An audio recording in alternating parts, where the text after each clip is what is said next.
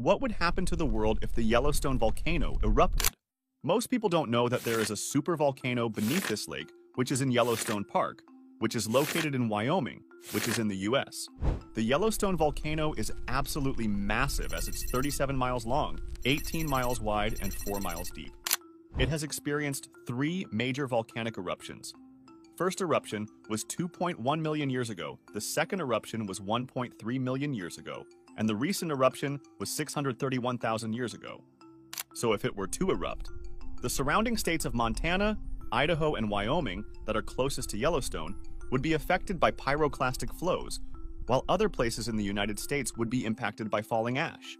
The amount of ash would decrease with distance from the eruption site, and due to the smoke emitted into the atmosphere, a lot of sunlight would end up reflecting back into space. This means that the entire Earth would cool by at least 10 degrees for at least 10 years, which would hypothetically help